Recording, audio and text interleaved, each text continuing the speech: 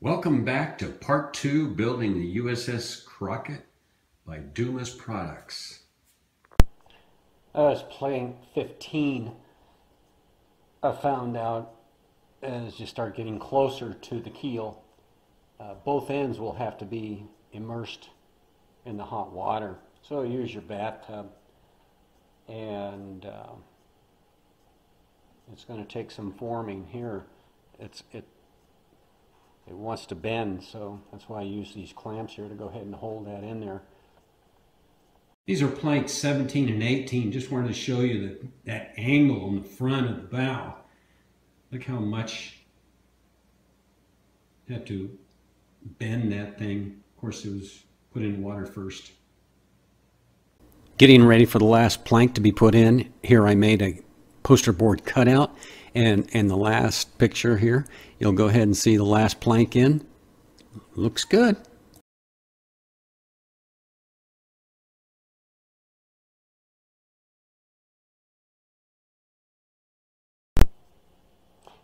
Step 17, when you have the hull planked, carefully remove the hull from the board. Add the top plank if you have not already done so. Well, we're going to kind of skip this. We're going to go ahead and sand it in place. That'll be uh, provide a rigid, solid foundation.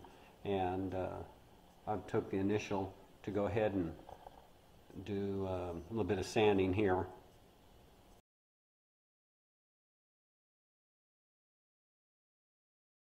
When you're done sanding the hull, you can go ahead and remove it from the board. Here I'm using a number two X-Acto knife with a three inch saw blade. And you want to get as low as you can. Start removing it from the board.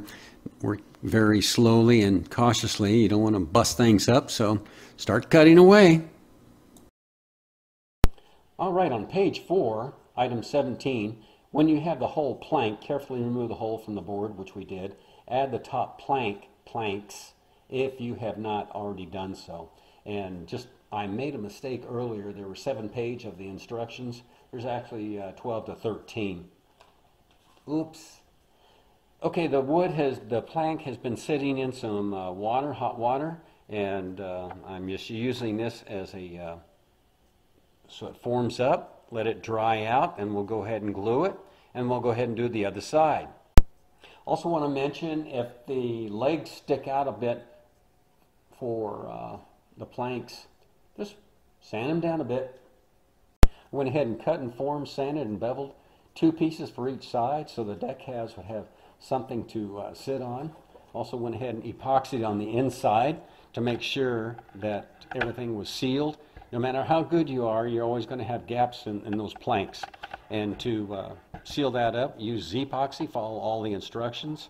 Used a acid brush Put this end where it's marked in red in a vise so no hair would uh, come off. Use the uh, gloves and a respirator and found out after 20 minutes, uh, didn't need the respirator, but make sure you're using in a well ventilated area. Use parchment paper, make sure there's no ifs, ands, or buts, no drips. Use the uh, blue tape, make sure no bleed through. Didn't have any. Now it's time to sand the hull. Always use blocks, never use your fingers. I actually used a PVC connector, a one inch PVC connector and a one inch PVC pipe to get the uh, round areas. Z-epoxy the inside and the outside, four ounces outside, four ounces inside. Use a tack cloth in between sanding.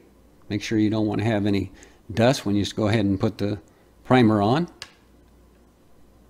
And I used two coats of primer and this actually shows some of my bad areas. The Bondo could be considered a guide coat. Any low spots will appear like this. There's our primer and should be filled in with a filler or the Bondo. These are the rudder blocks and strut strengthening pieces that you have to make. They're epoxied in.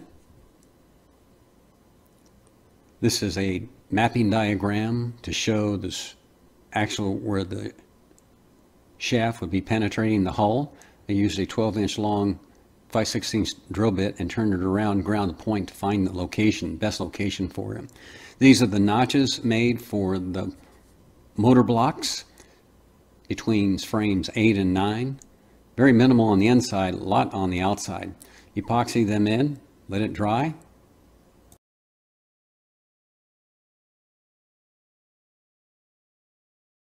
Several things have come up, and that includes the after main deck, and I'm going to go ahead and do some uh, ship alts, or is that mod alts? And the, uh, the rear hatch here will be enlarged, a little bit larger, so I can have access to the steering gear and the main shafts, etc. And also the uh, fiberglass and hull, it'll come up without leaving a gap here. So uh, right now it's just sitting there, and I wanted to make it come up all the way up to the top edge here. Also the Here's the picture of my new design, and this, this here is the outside, which will be replacing the, this hatch here. So everything here will be all one piece, with exception, we'll have larger area for the steering gear.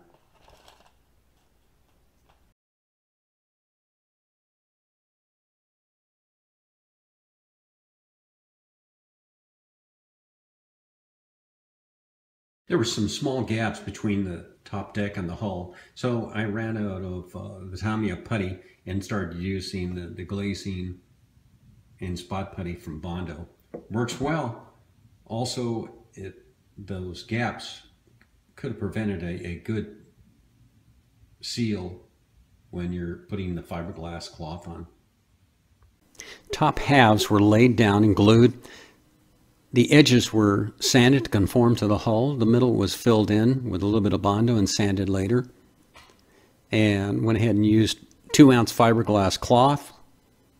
As I made the design, wanted it to make sure that it didn't move when everything was, the resin was being applied. And I used Scotch brand spray adhesive, made sure it didn't move. The front will have to be overlapped so you can get a good uh, resin coat and everything was well protected. And uh, on the uh, this next picture, it'll show the first resin coat. And I added uh, three more light coats and developed a resin ridge on top, which will have to be sanded.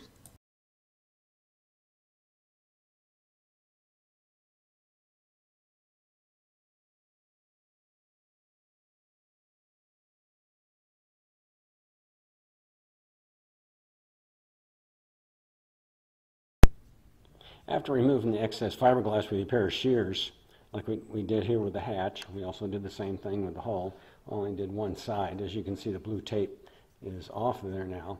That's because I went ahead and uh, trimmed it with your number 11 X-Acto knife and used 180 grit sandpaper and uh, almost to a 90 degree. And as you can see, it's in the rough stages. It's coming off.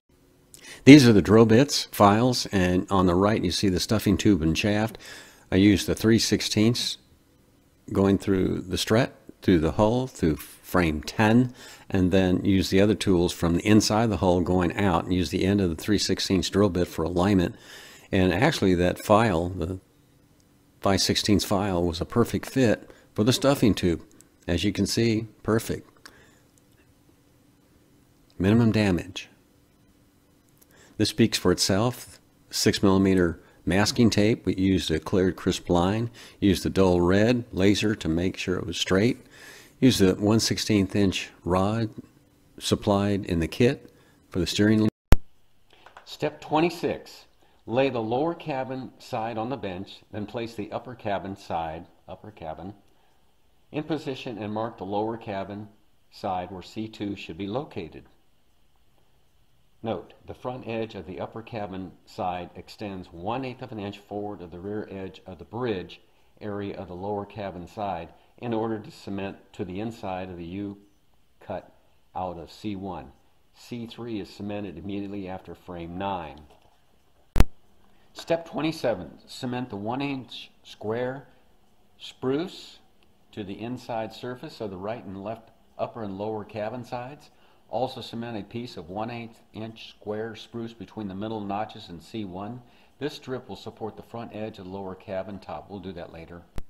Step 28, assemble the lower cabin sides to C1. Here we'll just go ahead and do a makeshift mock-up here. and you know make sure it's set at a 90 and glue it. We're in the model shipyard right now. We got the lower cabin installed non-permanently, as you can see. There's tape over here. C1, C2, C3, and C4. These areas here between the cabin and the deck, they must be measured very accurately because it's bowed out on both sides. So this micrometer came in very handy writing all the measurements down and right now so it's a, it's a good fit. We'll glue it up. C1, C2, C3, 4.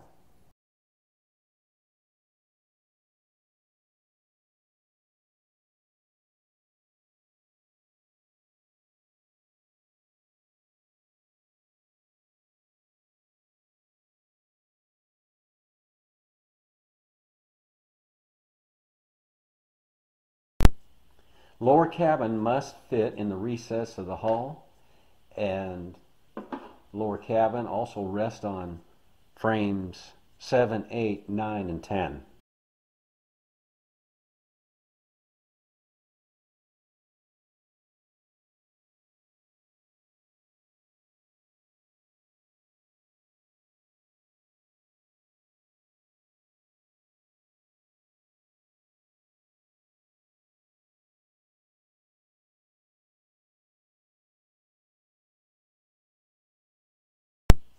After trimming the sides, we must now mark the front around here so we can trim it, grind it down, and so the front piece will fit into the whole open whole area. For the windscreen to fit properly, you will have to have a channel like you did for the side windows all the way in the front for the windscreen. The angle on that is about 70 degrees.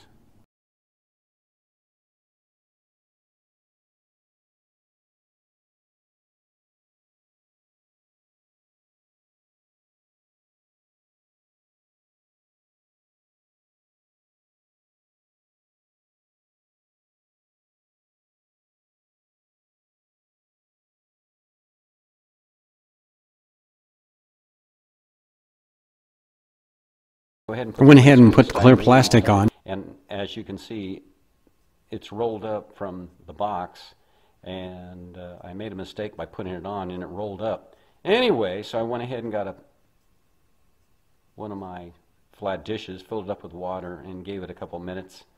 Took a while inside the microwave, and this is what it should look like, not that.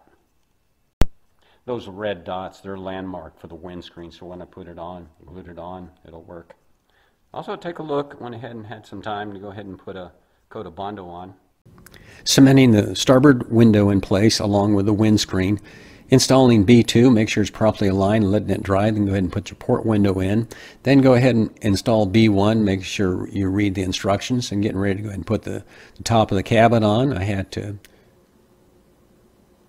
chamfer that down, put an angle on it, make sure everything's level, and then uh, make sure you read this instructions. So I had to let the uh, Bondo dry on the cabin. I started working on the funnel, main funnel, and this was fun. Got it all together though. Thanks for watching part two. Part three will come up.